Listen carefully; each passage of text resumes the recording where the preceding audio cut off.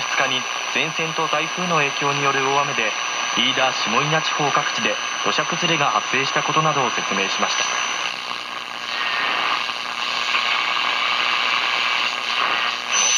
大道グループ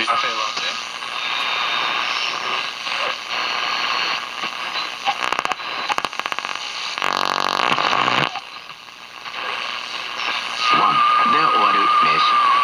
こうした名詞は漠然とした意味を持つそしてカメラワークが素晴らしく.いい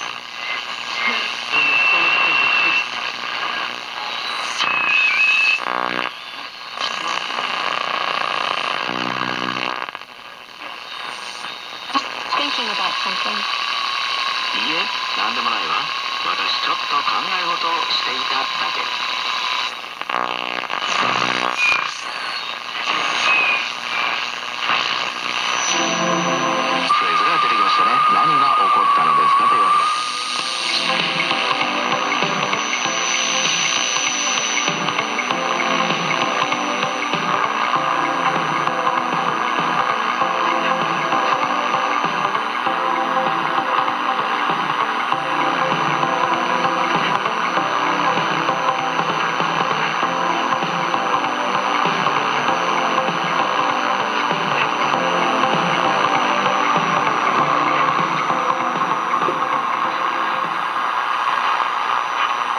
この時間は SBC ふれあいセンター聴取者と共にお送りしています。